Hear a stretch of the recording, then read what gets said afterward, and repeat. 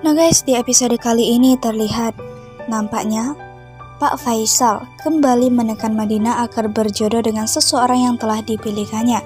Namun saat ini Madina berusaha untuk menolaknya karena jujur Madina masih belum bisa melupakan Zidane karena Zidane adalah orang pertama yang telah membuatnya menjadi lebih baik lagi ya guys.